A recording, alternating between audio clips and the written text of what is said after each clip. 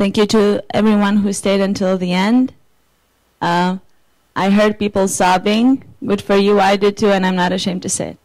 Um, I would like to start, because this film is about a victory, I would like to start by stating some other victories that this film had. Um, and I'm only going to mention uh, the awards it got in film festivals because the nominations were, were much um, more numerous, and I don't think we would have time for that.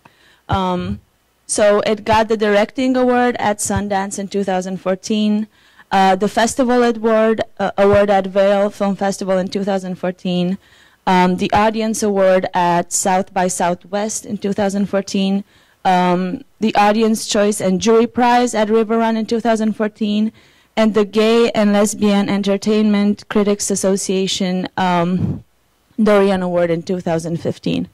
Um, for those of you who know a bit about film festivals, these are all huge, huge film festivals. So, um, and I think we all understand at this point um, why this film is so so highly acclaimed. Um, a bit about Enrique, since we're at Victories. Um, uh, Enrique just got the Hispanic National uh, Bar Association Top Lawyer Under 50, uh, Under 40 award. For some reason, 40 is a is a huge age for that. Uh, so congratulations on that. And he was selected as one of the um, readers of 50 fast track lawyers.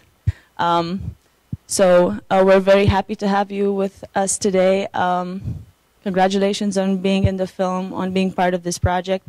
I would have two short questions, and then I would like to turn it to the audience. So um, we were talking earlier in, in the week about how uh, you are the only uh, gay lawyer in in the team. So um, I, I want to know eh, clearly, like there's more at stake for you for being in this case. So uh, my first question is, what was the hardest thing in this case for you to handle and to manage? Thank you so much for having us here. By the way, fantastic um, film festival, Alex. Um, hope this is on. Uh, I think that like the most difficult part about it being gay, because there's just two parts. One, it's like you have the the weight of of the movement and what it means, right? So when we filed this case, we thought this case was a perfect vehicle because Proposition 8 was so unique, right? The California Supreme Court had given the right to marry to same sex couples, and Proposition 8 was engineered to take it away. And because it was engineered that way, we had three different ways that we could actually win on the merits, right? We could argue that there was, there's a fundamental right to marry that all Americans get. This law takes it away. We could argue that, that as Americans, we are all entitled to equal protection under the laws and that this law treats gays and lesbians differently. Second way to win. And the third way to win, which was unique to the proposition, was that because um, there was a case that was decided uh, by the Supreme Court in the 90s called Romer versus Evans, and there, a Colorado initiative had been passed, which basically stripped uh, the ability of gays and lesbians to uh, petition the legislature.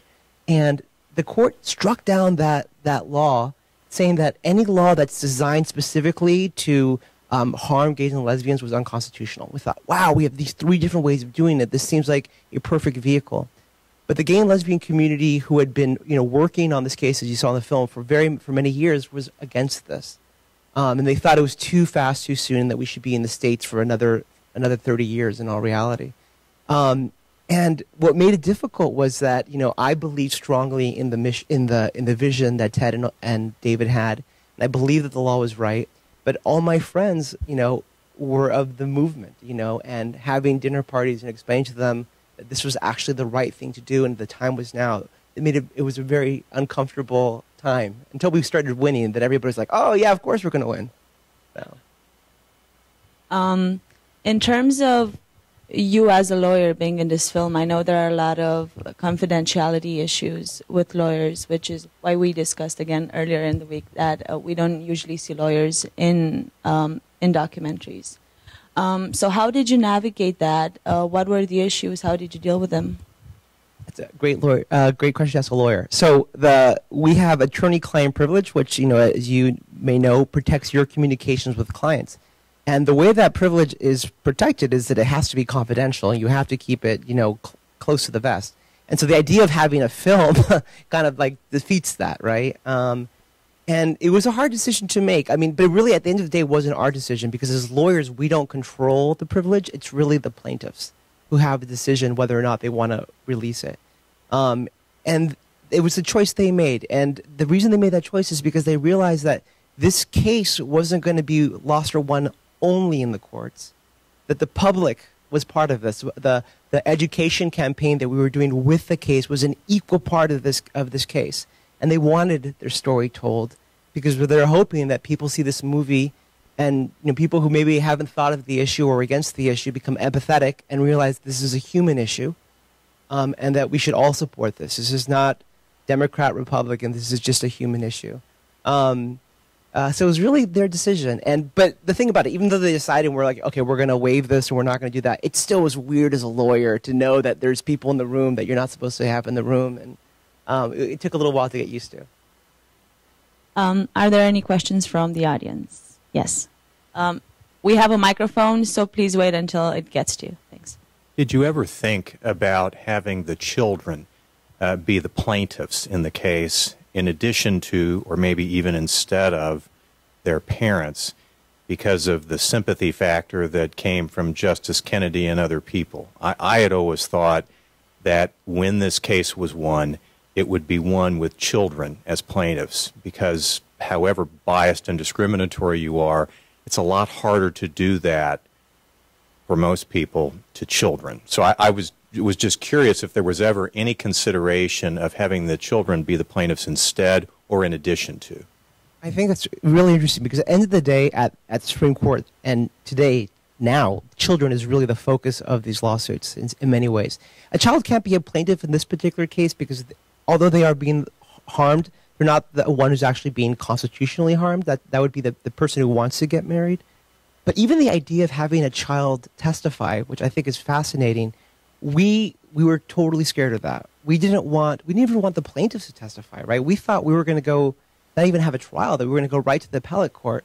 So then get into, get into the idea like, wow, our plaintiffs are actually going to testify and we got to get them ready. We, we did everything in our power to keep the child, the children out of it. That was our strategy then. But now, after you know, seeing how Kennedy feels and like basically how how the court feels about the children, I think that if we did the case over again, I, I, I think I agree with you 100%. I think we would have a child testify about the harm that's inflicted because that harm is, is um, in many ways, if you're not gay and lesbian, that's maybe the harm that you could that you could identify the fastest, the quickest. You know, you all have a child, and everybody, every child thinks their parents are weird and different. Um, and so they could, you know, they could attach to that and be like, yeah, that, I wouldn't want to be discriminated because what, what my parents are like, who they are. Here comes the microphone, right, right down.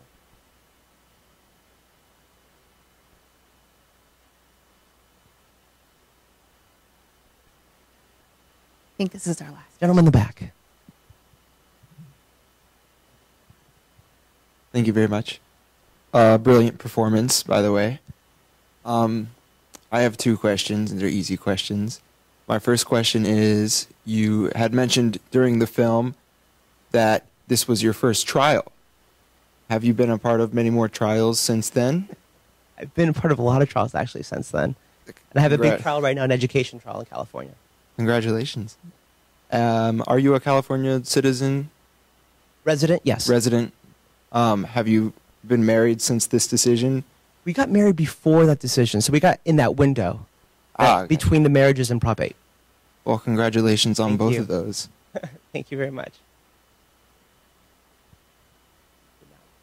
I'm not sure how many more questions we have time for, so maybe have Bernardo and then That'll wrap it up. Just one quick question. So, for you know, I've always wondered what it's what it's like to be a participant in a documentary, and I'm just wondering if you can talk about. You talked a little bit about you know it, it being um, unusual or uncomfortable, you know, in in uh, in those moments when when you're strategizing. Uh, but I'm just wondering if you can talk a little bit about the relationship between you and the filmmakers and the other attorneys and the filmmakers, uh, because there's clearly such an extraordinary of intimacy and access there and an attentiveness on the part of the filmmaker. So I'm just wondering if you could describe that relationship for us. It's fascinating. Actually, it's a relationship that developed, right? So they filmed us for five years. It's two gentlemen, uh, Ben and Ryan, Ben Cotner and Ryan White. Um, and in the beginning, it's like strangers. So you you're very you know reserved, um, and you are you you have talking points that you want to get through, um, and uh, and it was very interesting. I mean, as a lawyer, you know, I'm always advocating. So I'm thinking that you're asking me a question like, what's the best answer for my client to like answer that? Um, but after a while, like they, they became friends, and Ben and Ryan are both gay, and they're both like really interested in, and uh, have a personal stake in what happened in this case. Um, and so the relationship, you know, you know, you get to a point where like the camera's in front of you, but you're like, you know, you're looking beyond the camera, and you're, you're just having a one-on-one relationship with the directors that they're filming you. Um, and I think it felt it was it was that way for everybody. And the person who had the most resistance to filming was Ted Olson. I mean, he thought this was ridiculous. Like this is crazy. Like we're going to win the case. He believed in the PR, but he he doesn't need to be on TV, so he had no vanity. He didn't want to do it. But at the end of the day, like you know, he got in the the cameras got in there because he felt comfortable with them and he trusted them. Um, and he's like now one of the biggest proponents of the film. He's like, "Oh, I should have let you in more, you know, because this, this, you guys did such a good job, you know." Okay, thank you to everyone for coming. Um, we have two more films today Slums, the Cities of Tomorrow with Nicola as a guest, and then Reportero with Bernardo, who is our director. Uh, please come to both of them. One of them starts at 5.30, the other one starts at 8. Then we have an after party at the back door with uh, uh, April Carrion uh, performing. She was here as a guest for Mala Mala, so everyone's invited. Please join us. And um, that'll also be an opportunity to talk to the guests uh, more since we hope everyone will be there. Thank you.